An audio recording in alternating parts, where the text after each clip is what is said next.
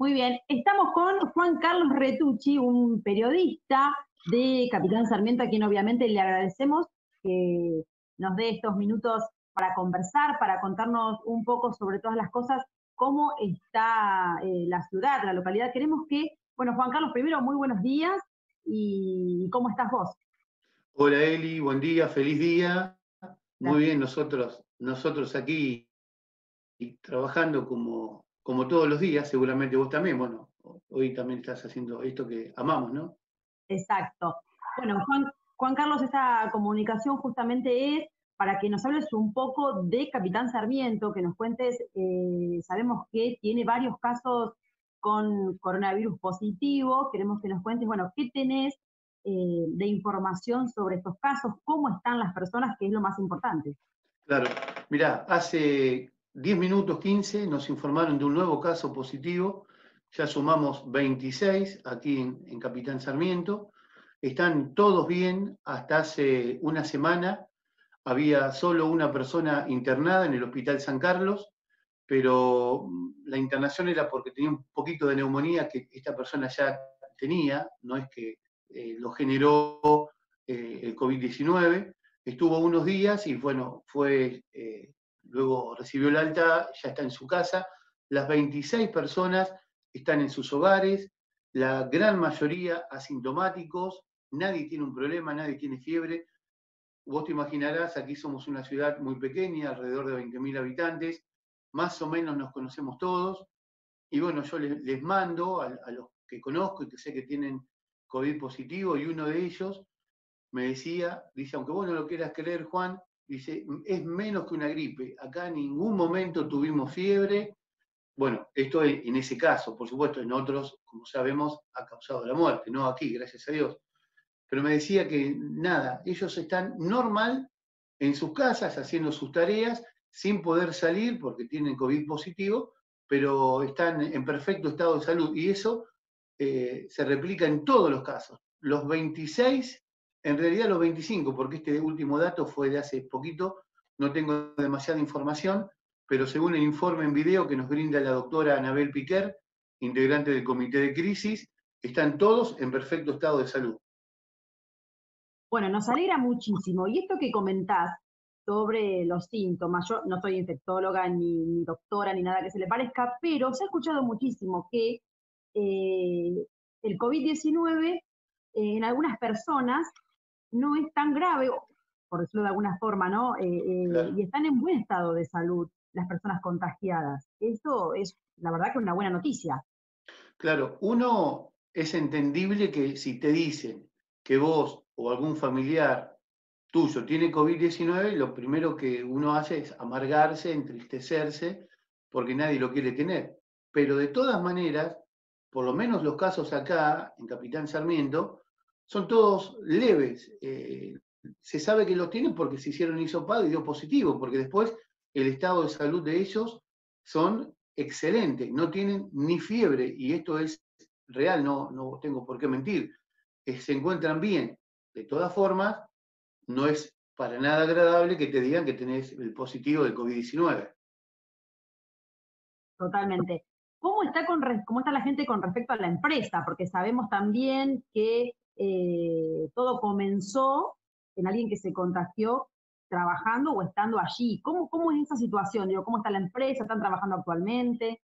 En realidad acá se cree que el comienzo no fue en Granja Tres Arroyos. Se cree que fue fuera de Granja.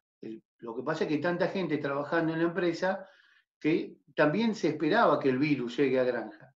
El intendente Javier Iguacel siempre dijo que acá se esperaba que llegue o por Granja porque hay mucha gente trabajando de toda la zona, o en, el sistema de salud, porque hay profesionales, hay médicos que también trabajan en otras ciudades y lo pueden, eh, podían traer el virus.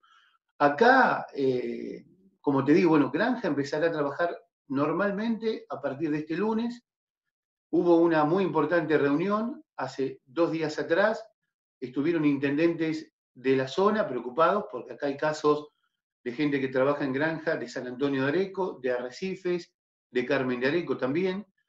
Hubo gente de la región sanitaria cuarta, Walter Martínez, el doctor Walter Martínez, el cual tuve oportunidad de hacerle una nota hace también dos días atrás, eh, gente de granja, delegados de, los trabajadores y bueno, eh, gente de Senasa también. Y hubo un comunicado por parte del doctor Martínez diciendo que estaba todo bien, que Granja había hecho las tareas que se solicitaban para que la empresa pueda trabajar en forma normal, brindándole tranquilidad a los trabajadores y a las familias de los trabajadores. Igualmente, hay algunos eh, empleados que todavía tienen un poco de miedo, incluso el doctor, te cuento Eli, nos decía que eh, eso, que vuelvan a trabajar, no, él no puede asegurar que el virus pueda volver a ingresar a la granja. ¿Por qué? Porque por más que se tomen todos los recaudos en la empresa, de hecho, cuando vos entrás, te toman la temperatura, alcohol en gel, hay la empresa Granja Tres Arroyos desde el día uno ha tomado todas las medidas, pero bueno, podés ser asintomático, no podés tener fiebre, vas a trabajar. Mientras están trabajando, las medidas de, de distanciamiento están. El único tema es cuando llega el momento de almorzar. En el comedor las cámaras de Granja Teresa Arroyos han registrado a empleados tomando mate entre sí, por ejemplo, eh, sin el tapabocas, eh, juntos, abrazándose, dándose besos. Entonces, también no solo está lo que la empresa tiene que realizar en materia de seguridad, sino la responsabilidad de cada uno de saber que esas cosas no se pueden. Uno imagina que si se hace en plena tarea, también se hace fuera de casa. Mirá, de los casos infectados hay gente que, estuvo tomando mate, que estuvo compartiendo todo un día sin eh, los cuidados que se recomiendan y se fueron contagiando. Eso no ocurrió dentro de la empresa, ocurrió fuera de la empresa. Igualmente, estos casos son muchos, preocupan a todos, más allá que, como hablábamos hace un ratito, ninguno tiene ningún problema de salud, están todos en sus hogares. Bueno, muy bien. Otra cosa que es importante esto que decías vos, ¿no? ¿Qué dicen las autoridades eh, de salud? ¿no? Porque eso, eso es eh, siempre una palabra importante en estos casos. Y vemos que se han contagiado muy rápido, como que el contagio es acelerado. Mirá, acá nosotros, te imaginarás, estamos en forma permanente en contacto con ellos. Siempre fueron diciendo que ellos estaban preparados para que el virus, cuando el virus llegue, siempre dijeron que el virus va a llegar, en una pandemia que es mundial, no hay eh, nada que diga que a Capitán Sarmiento el virus no iba a llegar, se sabía que iba a llegar como creo que a todas las ciudades, creo que del mundo. Ellos siempre dijeron eso, que se están preparando. Y estos días, estos casi 80 días, en los cuales acá no hubo ningún caso, se fueron preparando, el hospital se preparó, acá se, hizo, se hicieron cinco simulacros en todos estos días de, gente que, había que, tenía el COVID positivo, en realidad el simulacro no había nada, pero se estuvieron trabajando, se estuvieron perfeccionando, en el hospital se compraron respiradores en caso que se pueda utilizar, aquí hay un club con 36 eh, camas preparados por si en algún momento se llega a necesitar, se compraron más de 10.000 barbijos, los que eh, se tienen que utilizar el sistema de salud. Aquí en ese sentido estamos todos tranquilos, porque además son profesionales destacados, los cuales eh, uno confía ciegamente en ellos. Así que estimo que en, sistema de salud y desde, desde el municipio se ha aportado lo que se necesita. En ese sentido no vamos a tener problemas. Juan Carlos, como periodista, ¿vos cómo ves eh, a, Capitán Sarmiento. Digo, la gente tiene miedo, eh, eh, está asustada, está tranquila. La gente mayor tiene miedo. Esto creo que en, todas las ciudades o la gran mayoría de, las ciudades pasa. Sabemos que la cantidad de gente que muere normalmente es gente mayor o gente con algún problema. La gente mayor sí tiene miedo y en, yo te diría casi en el 100% de los casos se cuida es difícil ver gente de 70, 80 años en la calle. El tema, mira, hoy a la madrugada, dos y pico, una señora me mandó un video de gente que estaba, por ejemplo, comiendo un asado fuera de su casa con el frío que hacía. Tengo el video que en mi celu, no lo publico porque se ven chicos y bueno, eso hay que respetarlo. Eh, pero se ve mucho movimiento, mucho más del que uno cree que tendría que haber. Ahora, me dice la policía, con razón, que es muy difícil determinar quién sale de gusto y quién va a la farmacia, a un supermercado, a una ferretería, que son los lugares en los cuales eh, se puede trabajar. Acá se había, por ejemplo, liberado el que quería salir a caminar, podía hacerlo de 12 a 4 de la tarde en tres lugares determinados, digamos, casi a las afueras de la ciudad en algunos. El que quería jugar al pádel podía hacerlo, el que quería jugar al tenis también, uno contra uno, porque no había casos.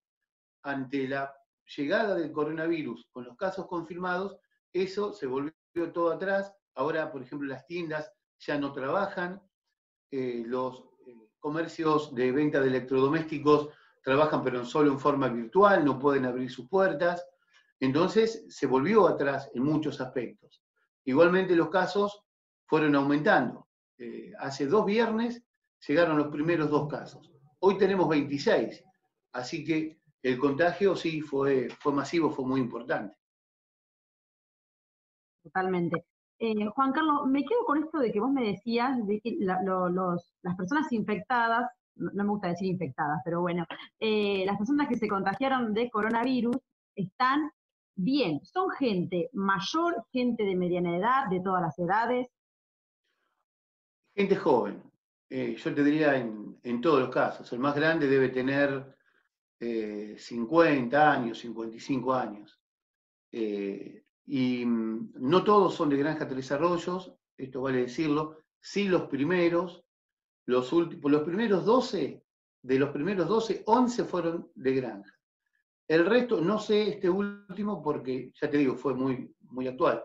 Los otros fueron familiares directos de esos trabajadores de granja, que compartieron un mate, como, bueno, como decíamos, uno en la casa también tiene que tomar mate solo, no lo tiene que compartir porque uno no sabe si lo tiene o no, más allá si tiene o no síntomas. Así que los primeros fueron trabajadores de granja y el resto son familiares directos, hijos, esposas de algunos trabajadores de granja. Lo bueno es que normalmente gente joven la que trabaja, gente sana, por eso es que yo creo que acá no, no va a parar. O sea, si pensamos en gente que esté mal, con respirador, que se muera, acá en Capitán Sarmiento no va a pasar, por lo menos en estos casos que hoy tenemos. Ojalá, ojalá que así sea que se puedan recuperar muy pronto y que sea solo un mal momento. Juan Carlos, con respecto a los trabajadores, como vos sabrás, eh, eh, hay algunos trabajadores que eh, están aquí en las empresas de nuestra ciudad de Salto.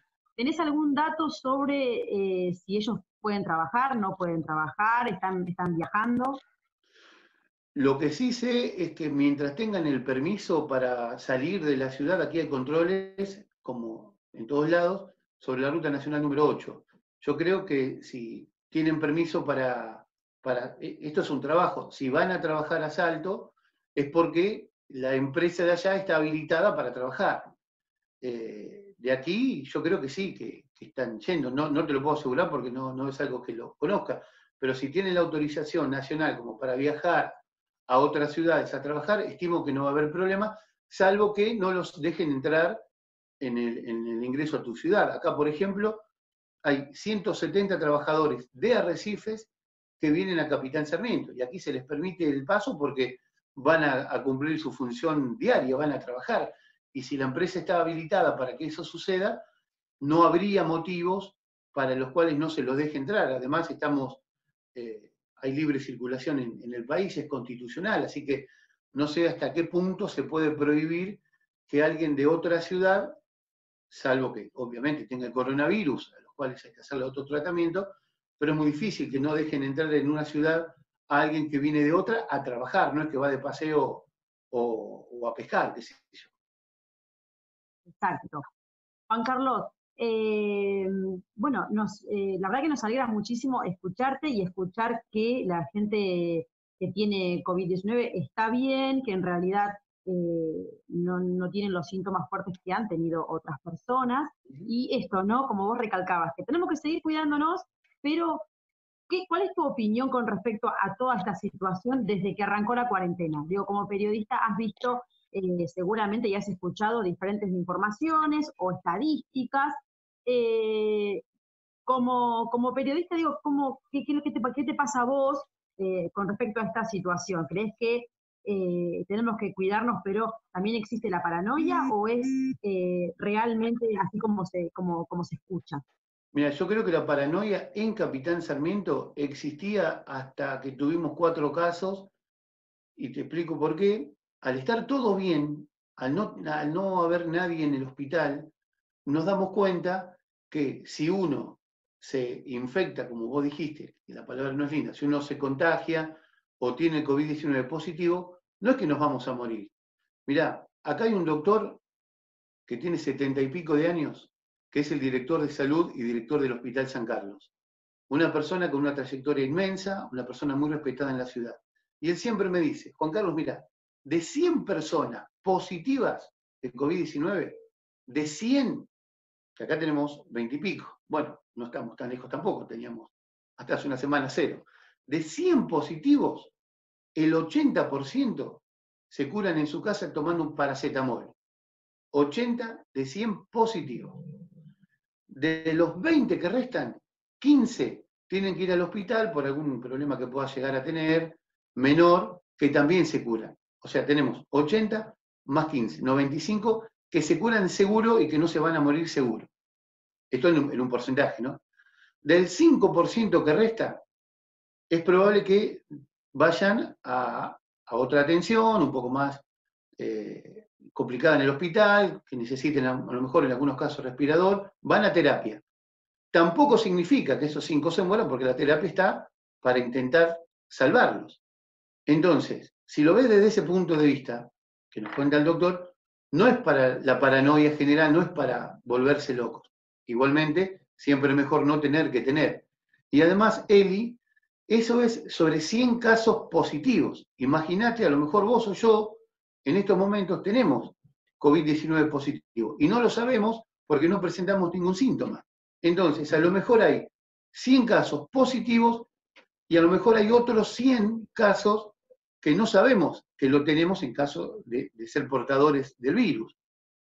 No es, lo que pasa es que vos sabés bien que esto vende entonces, vos ves los canales de televisión, sabés que vende, que la gente mira, que estamos todos atentos a ver qué pasa. Venden en Brasil cuando cavan las fosas, que lamentablemente es real, ojalá esto fuera mentira. Esto vende. El doctor también me decía, dice, yo puedo ser positivo y vos negativo. Que tomemos mate no significa que yo te contagie, significa que hay posibilidades grandes que te contagie. Pero viste, vos estás a lo mejor acá, acá pasó, ¿eh? Gente que tomó mate con uno positivo y ya está loco, cree que tiene COVID positivo y no es así. Una persona positiva puede contagiar en promedio a tres más. Si vos estás en tu casa y son cinco y vos tenés COVID positivo, no contagiás a los cinco. Contagiás de promedio a tres. Puedes contagiar a dos o a cuatro. Esto nos lo dijo el doctor. A mí me encantaría, cuando terminemos, te paso el número porque la verdad que vos lo escuchás y te da una tranquilidad del hombre con datos oficiales, no es que se les ocurrió a él. Te da una tranquilidad que creo que la gente que te sigue eh, tendría que tenerla si es que hay algún, algún vecino allí nervioso por esto del COVID-19. Esto también es importante que vos decís, sobre todo porque lo dice un médico. Yo siempre digo, yo no soy doctora, así que no, puedo hablar del tema, pero eh, sí le consultamos a gente especializada en el tema y realmente es preocupante más que nada el después, porque eh, este miedo, yo escuchaba realmente en, el día de ayer justamente a una chica muy joven que me decía que ella estaba encerrada y que, que tenía miedo de salir, o sea, cuando se terminara la cuarentena o cuando esto se aplacara un poco. Eh, también eso, ¿no? Tener en cuenta las emociones y, cómo va a afectar eh, en la gente mayor, en los niños, en los chicos, en los adolescentes, eh, cómo afecta emocionalmente, cómo van a, ¿Se entiende eso a, lo que voy? Digo, a, esto de, decir, decir la verdad, decir cómo son los datos, cuáles son las verdades, eso está más que claro. Ahora, no generar este terror, pánico, este miedo, porque también como vos decías, hay gente que es eh, asintomática y es probable que, tal vez tenga el virus y no lo sepa. Mira, acá el comité de crisis eh, que te digo, hay un montón de profesionales que lo integran, hay una parte de salud mental, hay un número de teléfono que nosotros todos los días publicamos a disposición de la gente por si alguien tiene algún problema mental, me refiero a esto de estar tantos días encerrados, que pueda llamar desde el comité, desde ese sector, se comunican, lo aconsejan, llaman por teléfono, si es necesario, hacen alguna llamada virtual, si es necesario se encuentran con esta persona, manteniendo la distancia, bueno, todo lo que ya sabemos, y ese número suena bastante seguido. Hay gente que está muy preocupada por esto, nosotros también intentamos hacer nota con profesionales al respecto, eh, profesionales que nos dicen que, hay que estar tranquilos en, en todos los casos, que hay que preocuparse hasta cierto punto, no demasiado porque nos terminamos volviendo locos todos, y bueno, mucho más ahora que nosotros tenemos, no digo un caso todos los días, pero más o menos. Entonces, eh, hay que estar tranquilos. Yo digo que, mira, si a vos te dicen que tenés que estar encerrado en tu casa, con tu familia, con tus cosas, ¿qué mejor? No es que tenés que, yo doy un ejemplo siempre burdo, pero que me parece que está bueno. No es que te dicen que tenés que cavar un pozo de 100 metros por uno de onda. Te tenés que quedar en tu casa, mirando tele, escuchando radio, disfrutando de tus hijos, tu familia, nada más. Y aquellos que tenemos que salir por trabajo, bueno, usemos el, barbijo o tapabocas, el alcohol en gel en todo momento, mantengamos la distancia de dos metros. Si yo tengo COVID positivo y vos no, y estamos a dos metros, por más que no usemos el, el tapabocas, yo no te contagio. Si mantenemos los dos metros, no te contagio. Entonces, ¿Es una enfermedad difícil? Sí. ¿Ha matado gente? Sí, y sigue matando. Pero si nosotros mantenemos todas estas medidas, no nos contagiamos. Entonces, seamos inteligentes. Si yo veo a un amigo y le voy a dar un beso, como lo hago toda mi vida, ahora no se lo puedo dar. Confío en mi amigo. Porque uno eh, sabe que si, tuviera algún problema, llamaría al comité de crisis, iría a hacerse atender. Pero no le demos el beso que le damos siempre no nos juntemos a comer, porque hoy no se puede. Por más que seas amigo, acá han, festejado cumpleaños y han puesto fotos en Facebook, por ejemplo. Y vos decís, no lo podés hacer eso. No subir la foto, no podés festejar el cumpleaños, no estemos todos juntos. Entonces, ¿hay que tenerle respeto a la enfermedad? Claro que sí, por supuesto, muchísimo respeto. Pero también hay que tomar las medidas. Y si tomamos esas medidas, no nos contagiamos. Entonces vamos a respetar lo que nos piden que hagamos.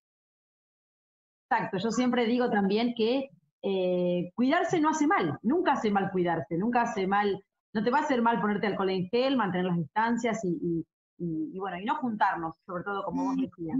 Juan Carlos, muchísimas gracias por toda esta info, esperemos entonces que los contagiados no sigan aumentando en Capitán Sarmiento y que los que ya están contagiados realmente puedan evolucionar favorablemente y, que dentro de poco podamos hacer otra conexión contándome que, todos están bien y que, han salido de esto. Eli, ojalá, para mí ha sido un gusto charlar con vos. Quedo a tu disposición el día y la hora que necesites información de aquí de Capitán Sarmiento. Igual, que tenga buen día. Gracias, hasta luego.